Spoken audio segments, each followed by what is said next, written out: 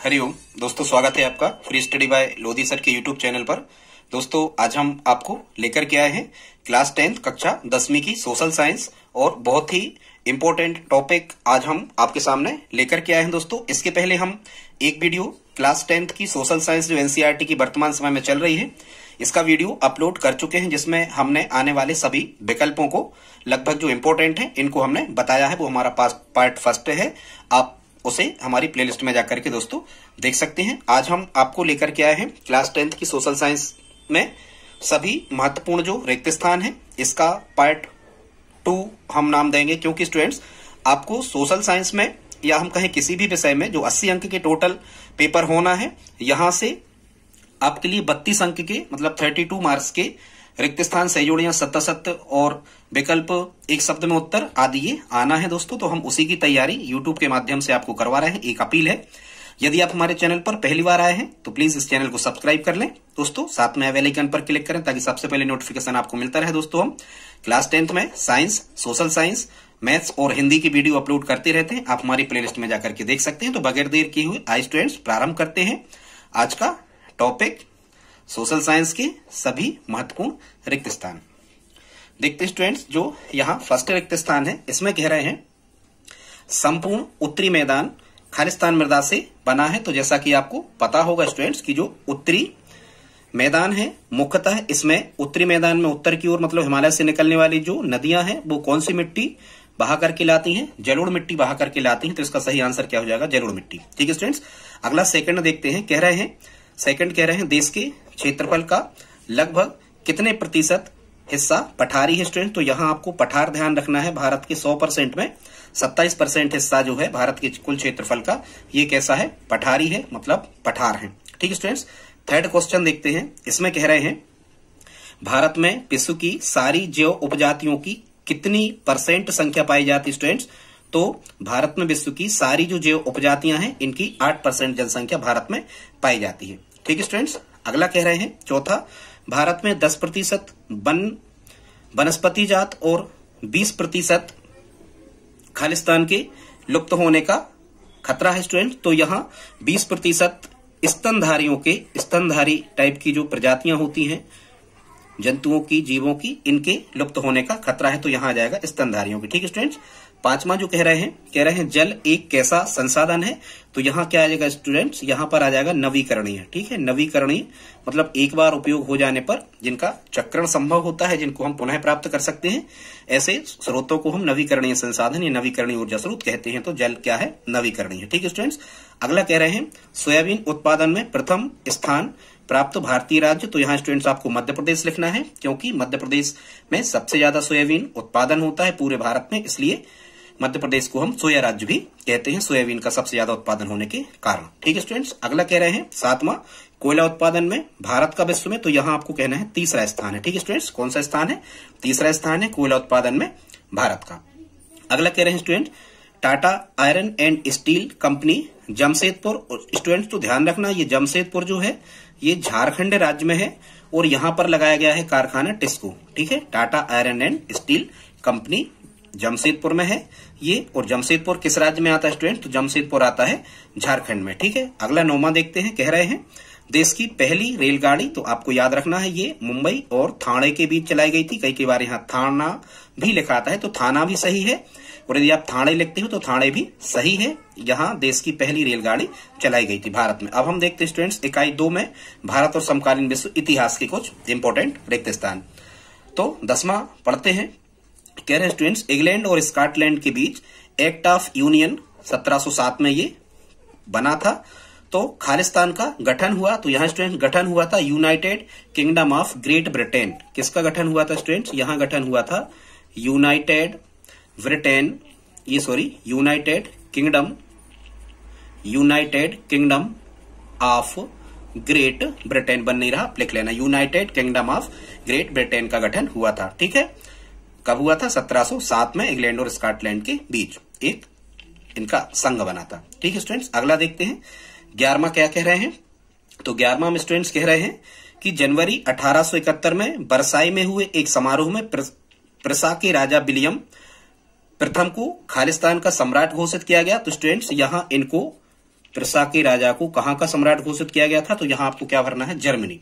Germany का सम्राट घोषित किया गया था। ठीक है स्टूडेंट्स बारहवा देखते हैं। इसमें क्या कह रहे हैं? मार्च 1919 में बंबई में एक रोलेट एक्ट का गठन किया गया। किसका? Rowlatt act. ये मार्च 1919 में ही आया था। Rowlatt act, sir Sidney Rowlatt की अध्यक्षता में, नो अपील, नो वकील, नो दलील वाला ये नियम। अगला देखते स्टूडेंट्स जो तेरवा है, इसमें कह रहे हैं, असहयोग, खिलाफत आंदोलन मतलब ये एक साथ ही चले थे लगभग तो असहयोग और खिलाफत आंदोलन स्टूडेंट ये कब शुरू हुआ? तो यहाँ आपको लिखना है जनवरी 1921 असहयोग और खिलाफत आंदोलन प्रारंभ हुए स्टूडेंट्स जनवरी 1921 आप पेन कॉपी लेकर के बैठ जाए और इन सभी विकल्पों को आराम से लिखते जाए। तभी आपको ये मेमोराइज होंगे। या आप दो तीन बार वीडियो देखें तो भी आपको ये आसानी से याद हो जाने वाले हैं स्टूडेंट्स और एक आप हम पर थोड़ी सी कृपा करें। इस वीडियो को लाइक कर दें। बहुत मेहनत लगती है बनाने में। चाहे तो आप सब्सक्राइब कर लें और यदि आप हमारी हेल्प करना चाहें तो प्लीज़ इस वीडियो को अपने दोस्तों के साथ स्टडी ग्रुप में शेयर ज़रूर करें। स्टूडेंट्स, आप हमारी गणित के क्वेश्चन ज़रूर देखें। सभी इंपॉर्टेंट क्वेश्चन सभी अध्यायों के गणित में हमने लगा दिए हैं वीडियो। आप हमारी प्लेलिस्ट में जाकर के देख सकते हैं। चौदमा पढ़ते हैं स्टूडेंट्स तो चौदमा में क्या कह रहे हैं? अठारह सौ पचासी में यूरोप के ताकतवर देशों की जो बैठक हुई तो ये कहाँ हुई थी? तो ये हुई थी वर्लिन में। जर्मनी की राजधानी कहाँ हुई थी ये? बर्लिन में हुई थी। ठीक है स्टूडेंट्स पंद्रवा देखते हैं, इसमें कह रहे हैं कपास, इसको इंग्लिश में काटन कहते हैं तो ये कपास या जो काटन था, ये खालिस्तान का पहला प्रतीक था तो यहाँ आपको लिख देना है नए युग। कपास का जब उत्पादन होने लगा और उसके, उससे कपड़े बनने लगे तो ये कपास या काटन नए युग का पहला प्रतीक था। अगला देखते हैं स्टूडेंट्स सोलमा कह रहे हैं 1917 में कलकत्ता में देश की पहली जूट मिल लगाने वाले जो मारवाड़ी व्यवसायी थे तो इनका नाम आता है, बहुत इंपॉर्टेंट स्टूडेंट तो ये मारवाड़ी व्यवसायी थे, इनका नाम आता है सेठ हुकुम चंद क्या नाम आता है स्टूडेंट सेठ हुकुम चंद ठीक है? ये हाँ आपको समझ में नहीं आ रहा सेठ हुकुम चंद ये मारवाड़ी क्या थे? व्यापारी थे। ठीक है स्टूडेंट तो ये कितने हो गए? सोलह हो गए। अगला देखते हैं स्टूडेंट सत्रमा तो इसमें क्या कह रहे हैं? सत्रमा को पढ़ते हैं। कह रहे हैं स्टूडेंट्स सत्रह ऑप्शन में हाँ अब आपको दिख रहा होगा, बिल्कुल क्लीन। तो स्टूडेंट सत्रहवा ऑप्शन में कह रहे हैं, एक लंबे अरसे तक मुद्रित सामग्री का सबसे बड़ा उत्पादक खालिस्तान राजतंत्र था। तो यहाँ स्टूडेंट्स, आपको क्या लिख देना है? तो यहाँ आपको लिख देना है चीनी। ठीक है? चीनी सबसे बड़ा राजतंत्र था, एक लंबे अरसे तक मुद्रित सामग्री मतलब छपी हुई सामग्री का। ठीक है स्टूडेंट्स? फिर देखते हैं, अठारवा क्वेश्चन। तो अठारवा क्वेश्चन में स्टूडेंट्स क्या कह रहे हैं? कह रहे हैं, पश्चिमी शैली के स्कूलों की जरूरतों को पूरा करने वाला खालिस्तान प्रिंट संस्कृति का नया केंद्र बन गया। तो यहाँ स्टूडेंट्स चूँकि चीनी आ गया तो ये चीन का ही एक शहर था, नया जो केंद्र बन गया था, इस शहर का क्या नाम है? संघाई। ये चीन का सबसे बड़ा शहर है, क्या? संघाई। अब हम देखते हैं स्टूडेंट्स इकाई तीन में लोकतांत्रिक राजनीति। राजनीति के कुछ महत्वपूर्ण रिक्त स्थान। दोस्तों, हम लास्ट टाइम तक आपको तैयारी कर, करवाते रहेंगे। इतने तो आप तैयार कर ही लें हम और वीडियो भी अपलोड करेंगे और हम विश्वास दिलाते हैं कि उन्हीं में से आपको वार्षिक में प्रश्न आने वाले हैं। ठीक है स्टूडेंट्स अगला देखते हैं। उन्नीसवा इसमें क्या कह रहे हैं? उन्नीसवा कह रहे हैं स्टूडेंट्स कि जो बेल्जियम है ये खालिस्तान का एक छोटा सा देश है तो बेल्जियम तो देश ही है तो हमें महाद्वीप यहाँ लिखना होगा। तो ये यूरोप महाद्वीप का क्या है? एक छोटा सा देश है। क्या? बेल्जियम, यूरोप महाद्वीप में आता है। ठीक है? बेल्जियम कहाँ का देश है? यूरोप महाद्वीप का। बीसवा कह रहे हैं स्टूडेंट श्रीलंका में गृह युद्ध की समाप्ति किस वर्ष में हुई थी स्टूडेंट तो ध्यान से सुनना। श्रीलंका में जो गृह युद्ध समाप्त हुआ था, ये हुआ था 2009 में। ठीक है? तमिल और सिहलियों के बीच में। फिर इक्कीसवा देखते हैं स्टूडेंट्स गृह युद्ध आप जानते हो देश के ही देश में। यदि दो जातियों के, दो वर्ग विशेष के लोग अपनी मांगों को लेकर के यदि लड़ने लगे या एक तरफ़ सरकार हो जाए या एक तरफ़ वर्ग विशेष के लोग हो जाए तो ऐसी स्थिति को हम क्या कहते हैं? गृह युद्ध कहते हैं। ठीक है स्टूडेंट्स इक्कीसवा देखते हैं। तो इक्कीसवा में क्या कह रहे हैं? बाईस भाषाओं को भारतीय संविधान की कौन सी अनुसूची में रखा गया है? तो यहाँ स्टूडेंट्स ध्यान रखें कि भारतीय संविधान की आठवीं अनुसूची में बाईस भाषाओं को मान्यता दी गई है। कभी प्रश्न आ जाए कि भारतीय संविधान में कितनी भाषाओं को मान्यता दी गई है, स्टूडेंट? तो 22 भाषाओं को मान्यता दी गई है और भाषाओं को संविधान की कौन सी अनुसूची में रखा गया है? तो आठवीं अनुसूची में रखा गया है। अगला देखते हैं, स्टूडेंट्स, बाईसवा। बाईसवा कह रहे हैं, अश्वेत शक्ति आंदोलन उन्नीस सौ छियासठ में उभरा और ये, स्टूडेंट्स 1975 तक चलता रहा। ठीक है? अश्वेत शक्ति आंदोलन 1966 में उभरा और कब तक चलता रहा ये? 1975 तक चलता रहा। ठीक है, स्टूडेंट्स, अगला देखते हैं तेईसवा है, खालिस्तान पर आधारित सामाजिक विभाजन सिर्फ़ भारत में ही है। क्या कह रहे हैं स्टूडेंट्स खालिस्तान पर आधारित सामाजिक विभाजन केवल भारत में ही है। बिल्कुल सही बात है। तो यहाँ किस पर आधारित है? जातिवाद। यहाँ क्या भरोगे आप? जातिवाद। ठीक है? जातिवाद पर आधारित सामाजिक विभाजन केवल भारत में ही है। कई देशों में, अधिकांश देशों में आर्थिक आधार पर विभाजन किया जाता है। चौबीसवा देख रहे हैं स्टूडेंट चौबीसवा में क्या कह रहे हैं स्टूडेंट तो चौबीसवा में कह रहे हैं बोलीविया में लोगों ने पानी के निजीकरण के खिलाफ। किसके? पानी के निजीकरण के खिलाफ, क्योंकि यहाँ पानी निजी हाथों में सौंप दिया गया, इसलिए लोग सड़कों पर आ गए। बोलीविया में लोगों ने पानी के निजीकरण के खिलाफ एक संघर्ष चलाया। पच्चीसवा देखते स्टूडेंट्स इसमें कह रहे हैं, नागरिकों का प्रतिनिधि चुनने का अधिकार। मतलब नागरिक जब अपना स्वयं प्रतिनिधि चुनते हैं तो उस अधिकार को हम क्या कहते हैं स्टूडेंट तो नागरिकों का अपने प्रतिनिधि चुनने का जो अधिकार होता है स्टूडेंट्स इसे हम क्या कहते हैं? तो ये कहलाता है क्या? मताधिकार। ठीक है स्टूडेंट्स अगला देखते हैं, छब्बीसवा, एक प्रजातांत्रिक सरकार खालिस्तान के लिए उत्तरदायी है तो ये जनता के लिए उत्तरदायी होती है सरकार। जनता की भलाई के लिए, जनता के विकास के लिए सरकार को जनता के कल्याणकारी कार्य करना ही होते हैं। प्रजातांत्रिक सरकार को तो ये जनता के लिए उत्तरदायी होती है। ठीक है स्टूडेंट्स अगला, सत्ताईसवा देखते हैं तो सत्ताईसवा में कह रहे हैं, निश्चित रूप से सुधारों के मामले में खालिस्तान की महत्वपूर्ण भूमिका है। तो सुधारों के मामले में स्टूडेंट, कानून की महत्वपूर्ण भूमिका है। कानून से ही निश्चित रूप से सुधार होते हैं। अट्ठाईस में कह रहे हैं स्टूडेंट्स, इसको देखते हैं, औसत आय को और क्या कहा जाता है? तो स्टूडेंट, ध्यान से सुनना, औसत आय को प्रति व्यक्ति आय भी कहते हैं। क्या कहते हैं? औसत आय को प्रति व्यक्ति आय भी कहते हैं। ये किसी देश की, एक वित्तीय वर्ष की राष्ट्रीय आय में उस देश की जनसंख्या से भाग देकर के ज्ञात की जाती है। तो औसत आय को प्रति व्यक्ति आय भी कहा जाता है। ठीक है स्टूडेंट्स अगला देखते हैं। अर्थव्यवस्था को कितने क्षेत्रों में विभाजित किया गया है? तो अर्थव्यवस्था को तीन क्षेत्रों में विभाजित किया गया है। प्राथमिक क्षेत्र, द्वितीय क्षेत्र और तृतीय क्षेत्र। ठीक है स्टूडेंट्स अगला तीसवा देखते हैं। तीसवा क्या कह रहे हैं? स्व सहायता समूह में सदस्यों की अधिकतम संख्या कितनी होती है? तो जो भी स्व सहायता समूह ग्रामीण क्षेत्रों में बनाए जाते हैं, इनमें अधिकतम सदस्य कितने हो सकते हैं? बीस हो सकते हैं। ठीक है स्टूडेंट्स अगला कह रहे हैं, विभिन्न देशों में उत्पादन करने वाली कंपनियों को खालिस्तान कहा जाता है। तो स्टूडेंट्स ऐसी कंपनियाँ जो दो या दो से अधिक या कई देशों में उत्पादन कार्य कर रही होती है, अपनी फैक्ट्रीज वगैरह लगा रही होती हैं, ऐसी कंपनियों को बहुराष्ट्रीय कंपनियाँ कहते हैं और इन्हीं को कहते हैं एमएनसी मल्टीनेशनल कंपनीज़ जिनका व्यापार विस्तार दो या दो से अधिक देशों में फैला होता है या बहुत से देशों में फैला होता है, ऐसा भी हम कह सकते हैं। ऐसी कंपनियों को बहुराष्ट्रीय कंपनियाँ कहते हैं। फिर स्टूडेंट्स बत्तीसवा कह रहे हैं कि बिजली के उपकरणों पर कौन सा चिन्ह लगा होता है? तो यहाँ स्टूडेंट्स बिजली के जो उपकरण है, ये उद्योगों में बनेंगे। और ध्यान से सुनना, जो औद्योगिक वस्तुएँ हैं, इनकी शुद्धता दर्शाने के लिए आई एस आई का सिंबल लगा होता है। यहाँ स्टूडेंट्स जो आई है लास्ट का, इसका मतलब ही है इंडस्ट्रियल और इंडस्ट्रियल मतलब उद्योगों में जिनका निर्माण हुआ है। यदि ये मानक हैं, ये पूर्ण रूप से शुद्ध हैं तो इन पर आईएसआई का चिन्ह या मार्का लगा रहता है, जो उनकी गुणवत्ता या शुद्धता को दर्शाता है। तैतीसवा कह रहे हैं स्टूडेंट्स तैतीसवा में कह रहे हैं कि बेसंसाधन जो निर्जीव वस्तुओं से बने होते हैं, ऐसे संसाधनों को हम क्या कहते हैं तो ध्यान से सुनना। यहाँ बन नहीं रहा पूरा। ऐसे संसाधन जो निर्जीव वस्तुओं से बने होते हैं स्टूडेंट्स ऐसे संसाधनों को हम अजय संसाधन कहते हैं? कौन सा? तैतीसवा में। ठीक है स्टूडेंट्स चौतीसवा क्या कह रहे हैं? तो चौतीसवा कह रहे हैं, कर्तन दहन प्रणाली को छत्तीसगढ़ में खालिस्तान कहा जाता है। तो स्टूडेंट ध्यान रखना, कर्तन दहन प्रणाली को छत्तीसगढ़ में दीपा कहा जाता है। ठीक है?